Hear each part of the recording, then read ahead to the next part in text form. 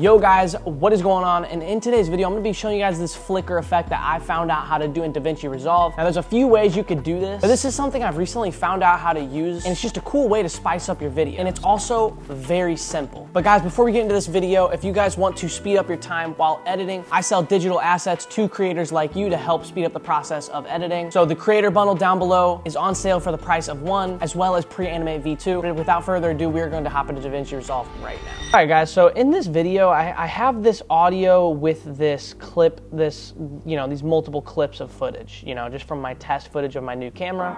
So this is what we have. Nothing crazy. Just absolutely nothing crazy. So this is going to be a pretty cool effect. So we're gonna start it first things first in the very first front of the clip. So before the video actually even starts, I'm gonna extend my clip out just a little bit. And you know, it doesn't have to be crazy. We're only gonna make it a few frames long. So one, two, three, four, five, six, seven, eight. Eight probably will do. So every one frame, we're gonna cut it and delete the frame. So one frame, cut, one frame. Then for this one, we're gonna go two frames. Cut that out, one frame, cut. One frame, cut, one frame, cut. So now boom, so we have something like this now. But what we could do is in each of one of these clips, we can come to the Fusion page and what we can do is hit shift space and search for a brightness slash contrast. Go to the inspector tab and on this first frame, we're just going to set a keyframe and at the end, we're just gonna crank the gain up like so. So now it'll just slowly make itself to the brightness. So then we're gonna copy this and go into each and every single one of these clips and just Command C, Command V into the effect. And we're just gonna do this for each of the clips. So now it has a more brighter effect to it. Now, there are a few more things we're gonna do to really spice this up. Now, this could be really used in any sort of footage that you could want to use it for. And GIMP edits, I use it in a lot of GIMP edits. You could use it for vlogs, for cinematic transitions, you know, whatever it may be. So I'm just gonna grab a few sound effects. Now I'm gonna be using sound effects from my sound effect pack on the website. First link in the description. Now this is actually in the creator bundle as well. We have a few things. We have this, couple of these. So what I'm gonna do here is I'm going to take one singular frame of a sound. And we're just gonna place this over this first clip. So now we have this small effect. We're just gonna place this over every single one of our clips. So now we have something like this.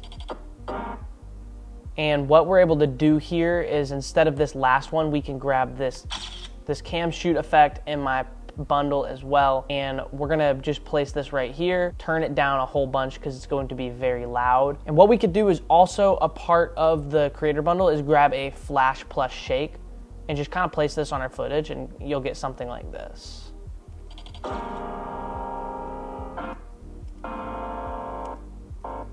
So then for this one, we're also gonna do a transition. So we're gonna do one, two, three, four, five, six frames this time.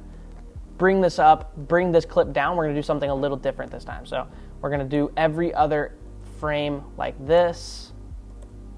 Instead, this time, we're just going to have that clip below it. So, and we could even bring that clip right there to do it even more. So cut cut these frame by frame, and within these clips, we're going to change the brightness. So on the bottom clip, we're going to now Command V this brightness effect. So now it looks like this bottom clip is going to be the one we're transitioning to. So now we have something like this. And I'm just gonna take all these sound effects again, the same sound effects, and we're gonna place them right here because it's about the same. Yeah, it's the same. But this time we're gonna turn these semitones down and just turn this up a little bit. So now we have something like this. So now it sounds a little different, sounds lower. And then for the ending here, we could just grab this sound effect right here and just place it at the end. So it's like, so it's like a transition, so.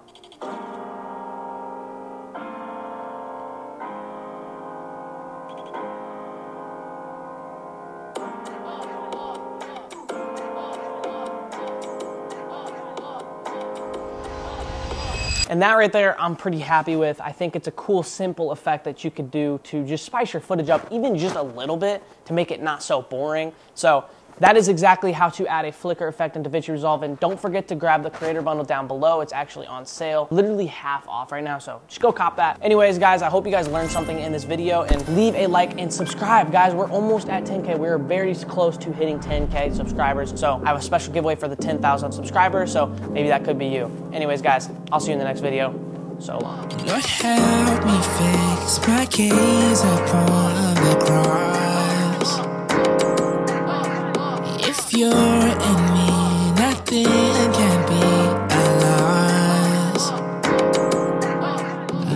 My face in the dust. And declare your